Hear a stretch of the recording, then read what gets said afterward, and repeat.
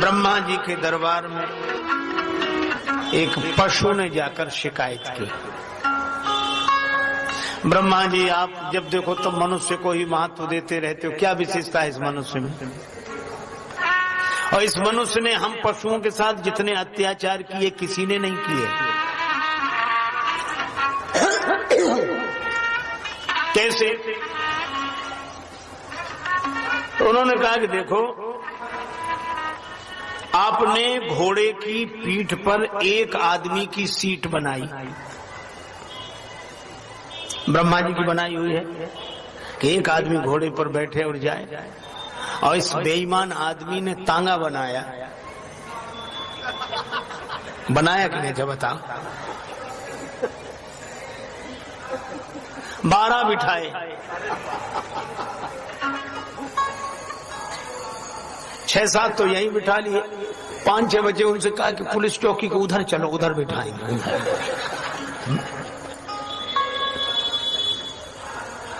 एक आदमी की सीट और इतने बिठाए। दूसरा, भेड़ के शरीर पर जो बाल उगाए गए, वो इसलिए ताकि ये सर्दी से बचे, सुरक्षित रहे। और आदमी ने भेड़ को मोड़ दिया। अपने स्वेटर, मफलर, कोट बनाए। बिचारी भीड़ सर्दी भर ठिठुरती रही ये अत्याचार अच्छा और देखो, बकरी बोली, बहन, तेरे तो बाल ही मूड़े। ये आदमी मुझको ही मूड़ के खा गया।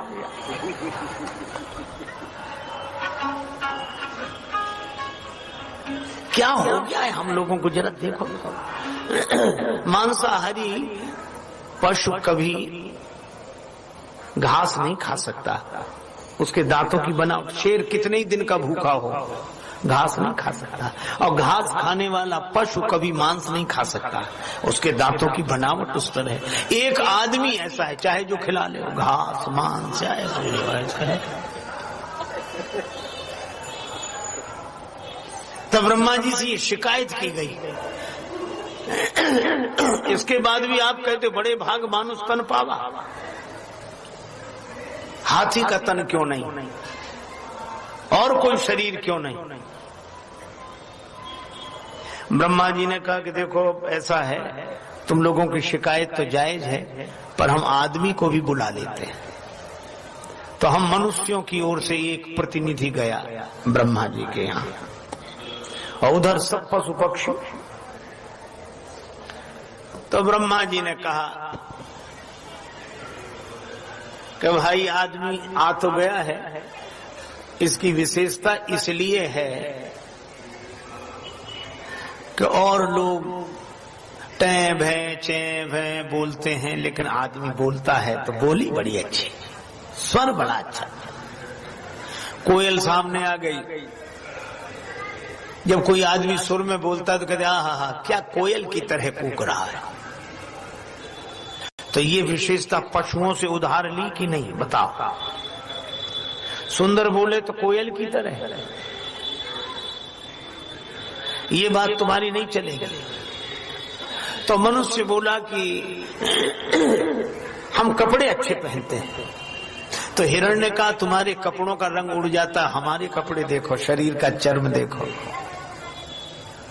इसको उतार उतार कर तुम अपने कपड़े बनाते हो। अच्छा ये ये भी बात नहीं चलेगी नहीं चलेगी। हम मकान अच्छे बनाते हैं तो बया पक्षी बोला कि तुमसे बढ़िया मकान तो हम बना लेते हैं। तो मनुष्य ने कहा कि हम बलवान तो शेर दहाड़ मार के सामने आया कि हमसे ज़्यादा बलवान नहीं हो सकते। मनुष्यों में जब कोई बलवान होता है तो कहते, क्या शेर की तरह चला रहा है? शेर की तरह। कभी किसी शेर से किसी ने कहा, क्या आदमी की तरह चला आ रहा है? आप सोचो तो ताकत भी शेर की तरह बोली कोयल की तरह अच्छा जितनी विशेषताएँ सब पशुओं की, नाक तोते की तरह आँख हिरण की तरह सब उदाहरण हमें लगता है इस आदमी में आदमी का है क्या? तो आदमी परेशान हो गया। कहने लगा, मैं सबसे ज़्यादा चालाक हूँ। तो कौआ सामने आया हमसे ज़्यादा चालाक नहीं हो सकते। तो आदमी हैरान हो गया। आदमी ने कहा सबसे ज़्यादा मूर्ख हैं। अब ठीक है। तो गधा सामने आ गया हमसे ज़्यादा मूर्ख नहीं हो सकते। जब कोई मूर्ख होता है तो कहते हैं आदमी नहीं गधा है। चालाकी हो तो कह दे आदमी नहीं कौआ है। सारग्राही हो तो कह दे आदमी नहीं, हंस है। बलवान हो तो शेर है। सुंदर बोले तो कोयल की तरह नाक तोते की तरह, नेत्र हिरण की तरह। ब्रह्मा जी ने कहा, इनमें तुम्हारी पशुओं से कोई जीत नहीं। है फिर ब्रह्मा जी यह क्यों कहा गया, बड़े भाग मानुष तन पावा। ब्रह्मा जी ने कहा, इसलिए क्योंकि इसे जो शरीर मिला है, साधन धाम, मोक्ष कर द्वारा। साधन धाम, मोक्ष कर द्वारा। पाई न जही पर लोक समारा। पाई न जई पर लोक समारा। पाई न जई पर लोक समारा। साधन धाम मोक्ष कर द्वारा साधन धाम मोक्ष कर द्वारा मोक्षा न जही पर ला आही पर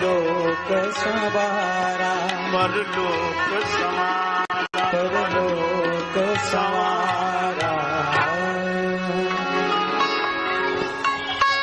यह मनुष्य शरीर जो इसे मिला है, यह इसके सचमुच सौभाग्य का सूचक है, क्योंकि ये साधन का धाम है। इस शरीर को पाकर साधना की जा सकती है, आराधना की जा सकती है, भजन किया जा सकता है, और मोक्ष का दरवाज़ा है